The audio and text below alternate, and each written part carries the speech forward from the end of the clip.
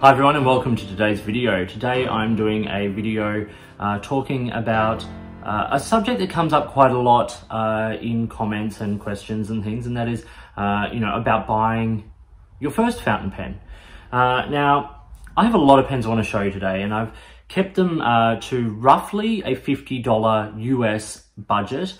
a couple of them are slight, a little bit more. I think one's maybe about the $70 mark, $60, $60 mark, I think.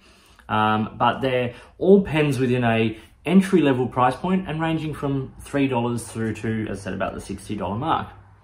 But there are a few criteria I think you should be thinking about uh, when buying your first fountain pen. Firstly, I think it's a great idea. Fountain pens are amazing writing instruments. They write beautifully. They, um, they, you know, choices of ink and all these sorts of things make it a really, really lovely pleasant writing experience, and that is for both left and right-handers. So if you're a left-handed writer, don't be afraid to start using a fountain pen. I'm left-handed, and there are a lot of myths about left-handed pen users. There are a few things we have to do a little bit, little bit more, you know, differently. Um, you know, we have the tendency to smear the ink because we're running our hand through what we've written. So changing hand position or paper position. I've done a video uh, on uh, being a left-handed fountain pen user, so you can check that out. And there are also other resources online as well. Um, so a few things to think about, but don't let that stop you from being a fountain pen user. I've been using them for years, reviewing them for years, had hundreds in my possession over the years. So it's absolutely doable. But there are some criteria regardless of what hand you write with and regardless of where you're coming from, if you're a ballpoint user or, you know, um, just wanting to, you know, if you're coming back to fountain pens. So um, I've taken some notes in case I look down. So uh, just I didn't want to actually miss anything in this video. So the first point is budget.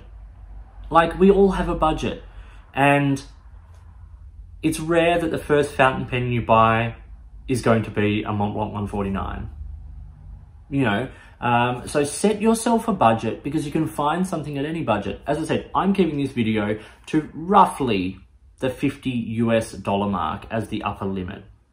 That is only because it's a nice round point for entry level sort of pens. Uh, and a lot of the pens I suggest as first fountain pens tend to fall under that category. Um, but there are pens in all price points, so find a budget and sort of stick to it. But don't be limited to the upper end of that budget. Look at what else is below it as well. Um, and then once you get infected with the fountain pen virus, as some people say, look at more expensive pens if that's something you want to go into. But one thing I will absolutely say, one of the pens on this list is a $3.50 or $5 fountain pen. It writes beautifully, it's reliable, it works first time, every time. It's a fountain pen, it's $5 and it outwrites a lot of fountain pens well into the hundreds of dollars. So that's coming up in this video and it'll be no surprise to anyone who is a fountain pen user already, um, but it is a great starting point and a great way of introducing other people to the fountain pen hobby. Okay, second point is, are you wanting to use cartridges or bottled ink for your pen? Now this if you're wanting cartridges, firstly, you have to understand some brands use proprietary cartridges, so they are designed for their pens only. Lamy does this, Pilot does this.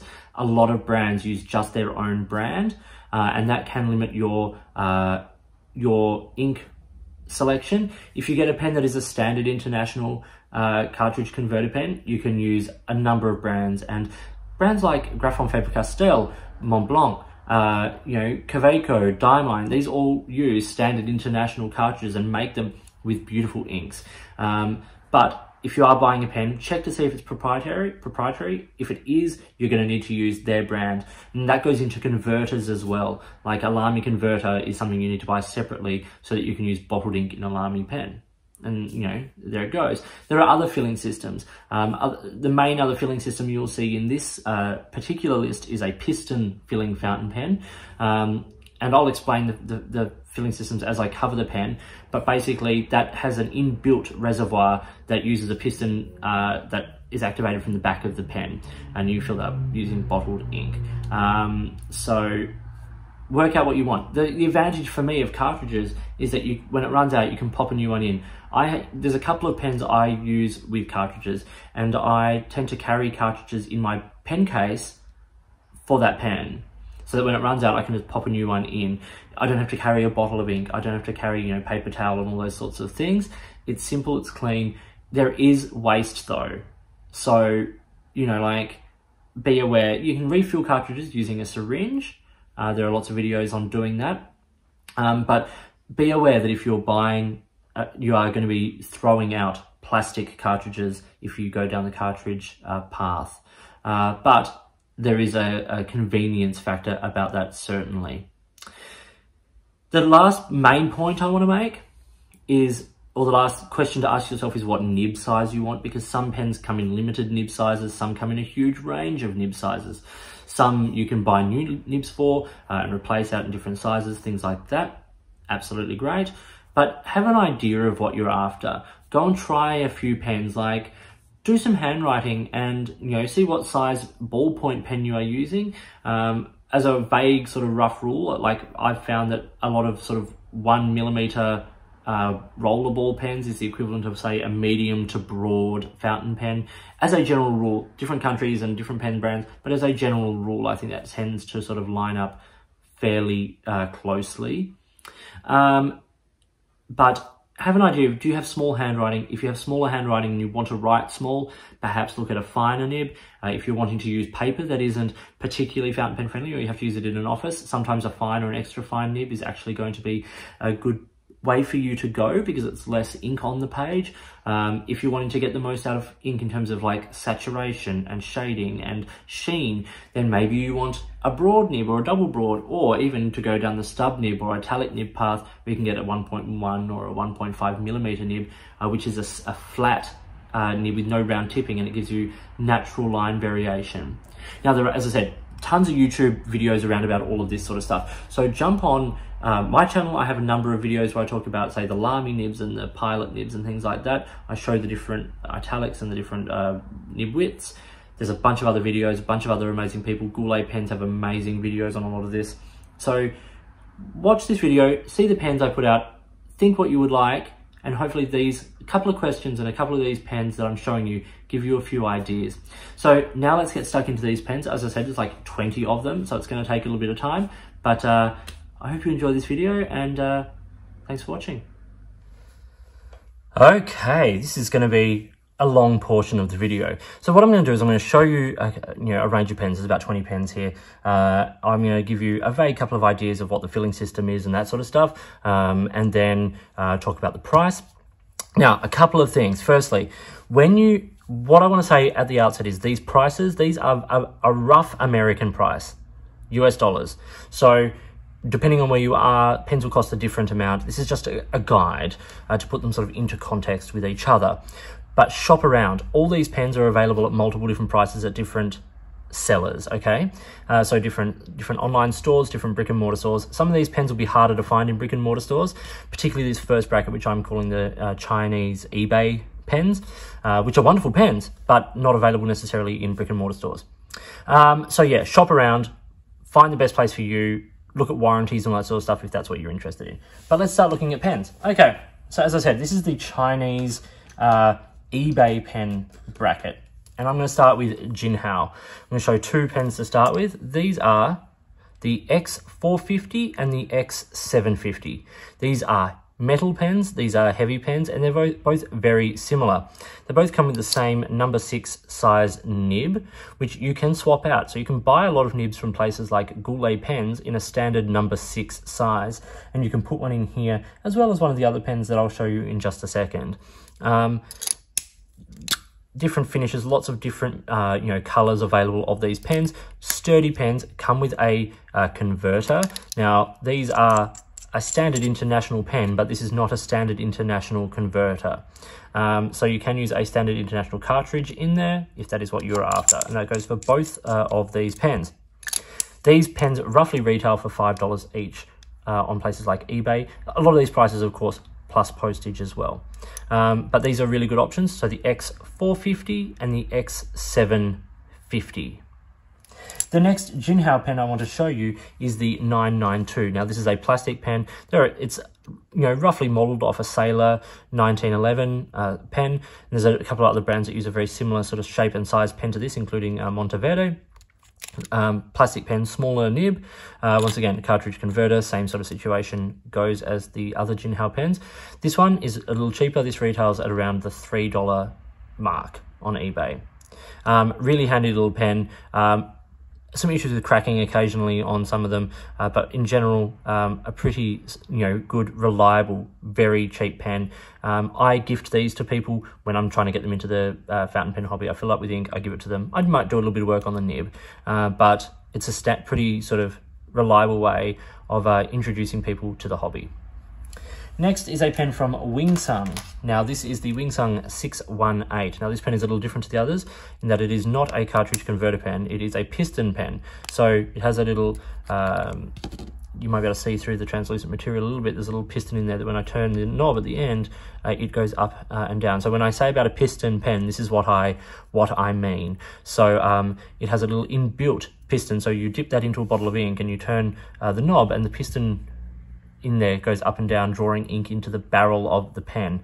It holds a bit more ink than a cartridge converter pen, uh, and it's a they're a fun filling system. You know, the 618 has uh, like an inlaid nib, uh, and it's a pretty decent pen, uh, and it, it, comes, I think it only comes in the one nib grade, or fine or extra fine, uh, and it's about between 7 and $15, depending on sort of where you get it and when you get it. The next pen is from Pen BBS. Now, Pen BBS has a huge range of pens. This is my pick of the Pen BBS pens. This is the 456. It is a vacuumatic filler. So it has a different filling system that uh, uses, like you pull out this rod, there's a little suction in there that when you push that down, it creates a vacuum behind the, the piston. And when that pops, it draws ink up into the pen. It's a very cool filling system usually in much more expensive pens, uh, but this is the Pen BBS 456, which if you shop around, you can get for around the $50 mark. This is one of those pens I talk about where you can swap out the nib. So I replaced the nib on this with a pen from Goulet, a nib from Goulet pens, um, much better nib, nice medium, uh, and made it a really, really nice, really nice pen. But in terms of pen BBS, this is my pick of the pens. The last pen uh, on, in the Chinese pen bracket, I will say, is the Moonman T1. This is a what I think is actually a very nice pen. I did a review of this, um, which you can check out on my channel. Um, once again, it's a piston filling pen. You can see the piston working very nicely in this uh, in this model because it's see-through. Got nice metal parts, plastic, um, and retails for around $30. So a really simple, easy model uh, for uh, you know people who want to get a piston filling pen that's a little bit sort of rugged and also a little bit unique. It's, it's a little bit different. So that's the Moonman T1. The next two pens are from Pilot, um, and they are a little bit different to each other. First is this. This is the Varsity, or you can get like the V pen. This is a what some people refer to as a disposable fountain pen. Um, this one comes pre-loaded with ink. You can get a number of different colors indicated by the color on the back of the pen. So there's blue, there's like a turquoise, there's uh, purple, green, red. You can also buy them in a pack of those colors. Um, super, super handy, super reliable little pen to have. I carry one of these in my uh, backpack in case I forget my pencil case or in case, you know, someone wants to borrow a pen or whatever the case may be. Um, really reliable, really easy, clean, and it, you can either throw it out or there is a hack to filling these up again, which people have done on um, on YouTube. Oh, and they these these are a bargain. These retail for like these are three dollars fifty from one of the American retailers. So super cheap. You like you cheaper than some ballpoint pens. So you know, and for a fountain pen, which is really nice. The next is the Pilot Metropolitan or M2, depending on where you are in the world, what version you get. Uh, there's a bunch of different finishes, plain ones, animal ones, different colors, things like that. Uh, the nib range is fine, medium, or there's what they call a, a like a, it's a broad, but it's like a, a, a small stub nib. Uh, this one has a medium nib on it. Uh, and it is uh, just a really reliable writer. This is another uh, cartridge converter pen proprietary to uh, Pilot, so using their converters. But uh, like the convert, when I say converter, this is a converter. So it's a small, basically it's a small piston um, that you, so you can fill it either directly into the bottled ink, but I prefer to fill through um, the nib. You actually get a bit more ink because you fill the feed uh, and nib as well. Uh, you dip that in and you draw it up into the uh, pen using the, the, the little uh, twist knob on the end there. Uh, proprietary to Pilot, as I said. Um, but the Pilot Metropolitan retails for around the $20 US mark.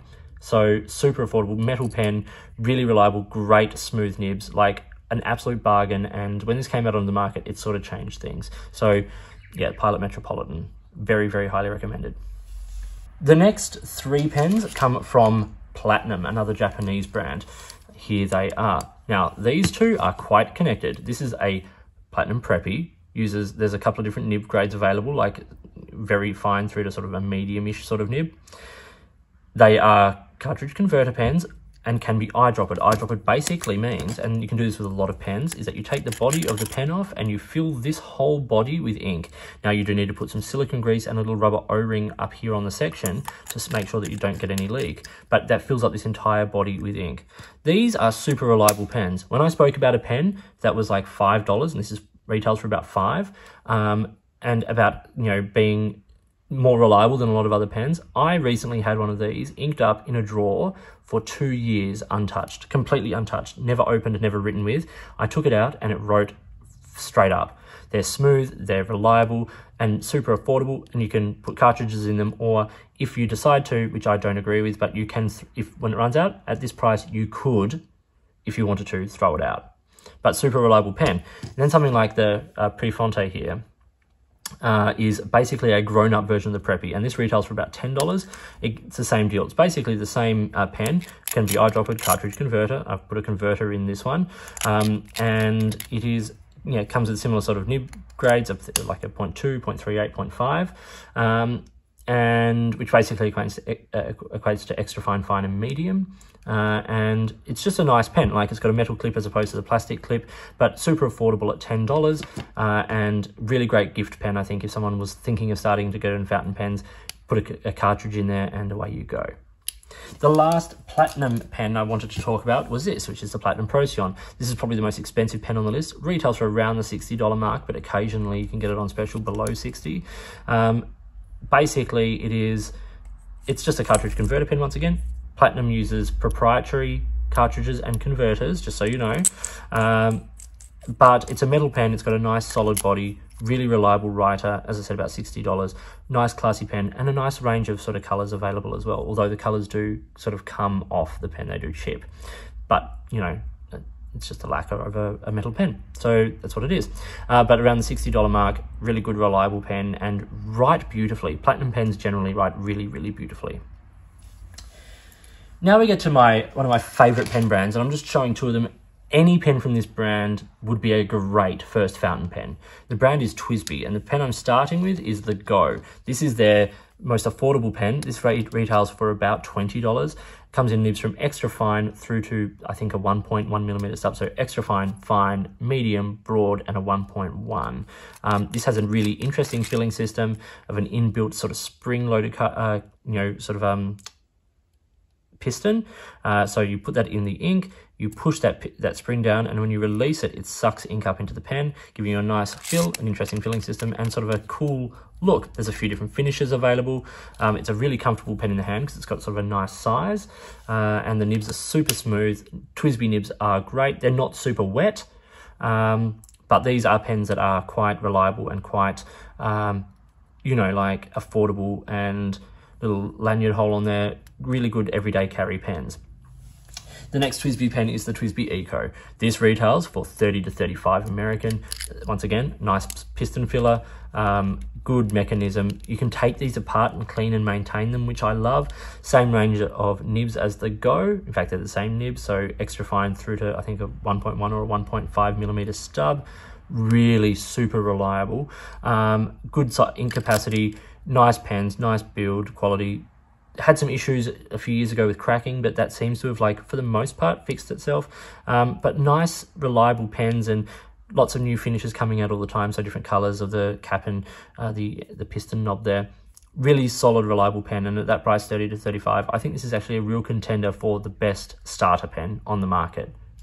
The next pen uh, I'm showing you is the Kaweco Sport. Now, this comes in a million different finishes. There's ice versions, which are sort of see-through. There's this version. There's the uh, aluminium version, and, you know, the prices do sort of go up. There's a lovely brass version.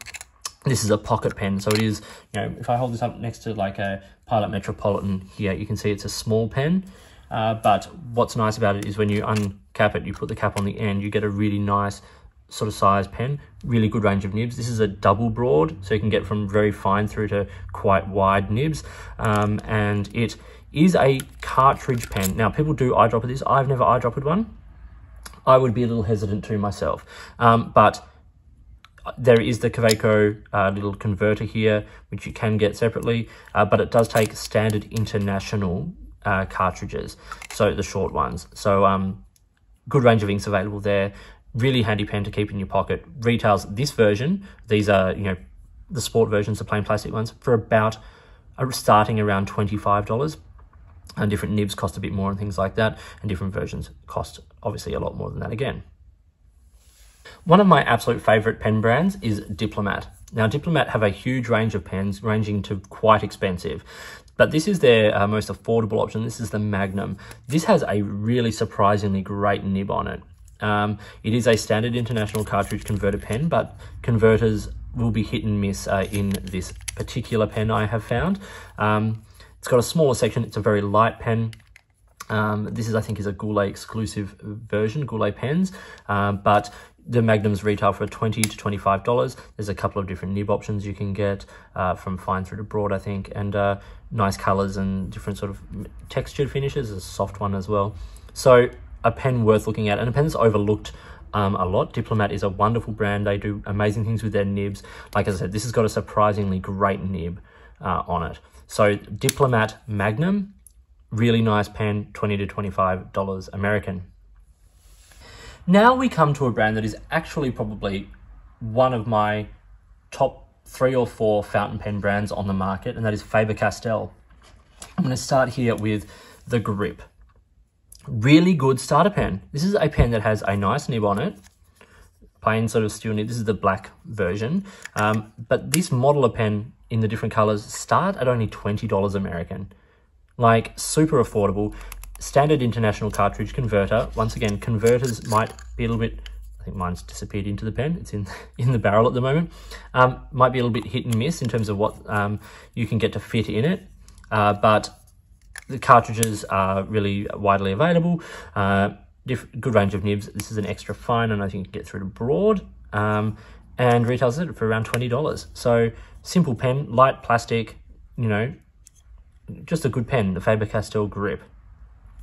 The next Faber-Castell pen will come as no surprise to you. It is the Loom. Another of the more expensive pens on this list, I will admit. You know, depending on shopping around, around the $50 mark, 50 to 55 probably. This is a, a version that was out a few years ago. There are newer, you know, finishes and things. It's just a really wonderful pen. Got a great, great nib on it. Nice size. Some people have an issue with this grip being a bit slick, particularly on the metallic versions. Um, it is a standard international cartridge converter pen. I suggest getting a Faber-Castell converter for it though, because they tend to fit better. Uh, and but you know, cartridges once again widely available. Interesting pen, good range of nibs available through extra fine through to broad. Uh, and but just a you know it's a unique looking pen and one of my absolute favorite pens. And another pen I really suggest to a lot of people when they're looking to get into fountain pens but I let them try what like hold this first because you know some people just do not enjoy that grip. I find it to be quite nice and I find the balance of the pen to be really good. So that's my take on it the last Faber-Castell pen is a new model that's out on the market is the Hexo uh, this is a this is a little bit cheaper it's 40 to 45 um, good nibs again. Cartridge converter, this is inked up at the moment. Metal pen, uh, hexagonal shape, sort of round grip, um, and a reliable writer. Light, it's designed for writing over long periods of time. It's just a good handy sort of pen, and it's, you know, rugged and, you know, usable clip and all of those sorts of things. And because it is metal, it's a little bit more protected. Uh, Faber-Castell do lovely things. Even their lower end nibs write really beautifully. And uh, this is certainly no exception. Um, Faber-Castell Hexo around the 40 to $45 mark. Now, the last two pens will come as no surprise. Neither will the brand. The brand is Lamy, of course. And you can't do a list like this without the Lamy Safari and the Lamy Al-star. Lamy is a German brand, uh, and they use their own proprietary cartridges and converters. Uh, a nice range of, of uh, inks available from Lamy, or you can get this converter. Now, as again, when I show you, like the converter is a little inbuilt piston in you know the place where you would put a cartridge um, and it's, yeah, the, the Safari is a plastic pen, ABS plastic. They come out with new versions each year. There's a stock line, um, really good pens. Um, and retail for around the 30 US dollar mark. The Al-star is its uh, aluminium, aluminum brother. Uh, same thing, you know, triangular grip, uh, which will get in the way for some people. Cartridge converter pen, proprietary, uh, and just an interesting design. The clip is polarizing, some of the shape stuff is polarizing. Um, but what makes these pens really reliable and or really good options is two things in particular. First, the nibs. Now, some people love the Lamy nibs, other people don't necessarily always love them. I'm a big fan, but what I really love is the fact that they come from extra fine through to 1.9 millimeter. So we're looking extra fine, fine, medium, broad, 1.1, 1.5, and a 1.9 millimeter nib, as well as having a left-handed nib available, which is smoothed on the front edge uh, of the nib just a little bit more to allow for that left-handed push motion across the page. These are really great pens because they are not super wet, so you can write on any paper, particularly with the extra fine, uh, and they are widely available. A lot of retailers sell just the nib, which you can buy for around the $15 American mark. But what I really like about Lamy is just how widely available these pens are.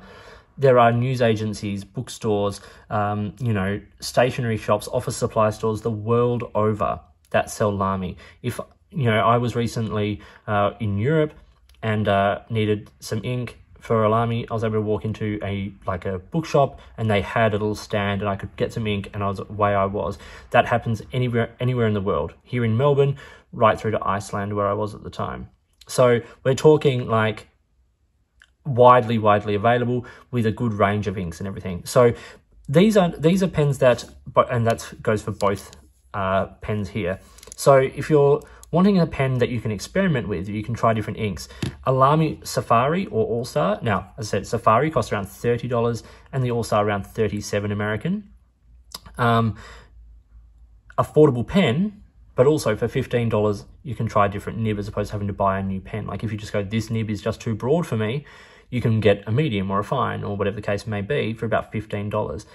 They have their own brand of cartridges which are widely available. They have converters, so you can use bottled ink, either theirs, which they have a nice little range of colors, or any other brand of bottled fountain pen ink. So that is the Lamy, Safari, and Al-star. So what is my, if I had to pick three pens uh, for a first fountain pen, I would do this. I would say, absolutely first, try a Platinum Preppy. $5 affordable, reliable, writes beautifully, a couple of new options available, different color inks available in the uh, platinum cartridges even. So try Preppy. Then I would say a Lamy Safari. Like these are a pretty standard stock sort of pen. As I said, widely available. The inks are available, different nibs, all of that sort of thing. Affordable, rugged and strong. Great everyday carry pen, chuck it in your backpack. The last pen on my, like in my sort of top three is the TWSBI Eco. It's a piston filler, lots of different versions, uh, like finishes and stuff. Reliable, good writers, nice pens, uh, and just interesting. So they would be my three if I had to choose three pens to suggest to people who are looking to get into fountain pens. So thank you for watching this video. I hope you found it interesting and useful and I hope you got some information uh, that might help you begin your journey into fountain pens or if you've got questions about any of these or any other pens, feel free to ask in the comments below. I'll, if I can help, I will get back to you. Otherwise, the pen community is a wonderful resource to tap into uh, and uh, just enjoy the experience of uh, delving into this wonderful uh, hobby and finding a fountain pen that really works for you. So, as I said, thank you for watching. Um, please like and subscribe and all that sort of stuff. Hit notifications button follow me on Instagram. I'm at the underscore offstage underscore me, uh, or you can drop me messages there, or you can drop me an email, which is uh, listed down below. Uh, if you've got products you think I should be looking at, or if there's like first fountain pens that you think um, could be potentially included on this list, drop them in the comments below. Love to hear from you, or drop me an email. Um, if you'd like to support this channel and help me make more videos, um, get in touch. Like if you'd like to, you know, sponsor a review or provide an item for review or whatever the case may be, I'd love to hear from you. In the meantime, enjoy your pens, enjoy your writing, and I'll talk to you soon.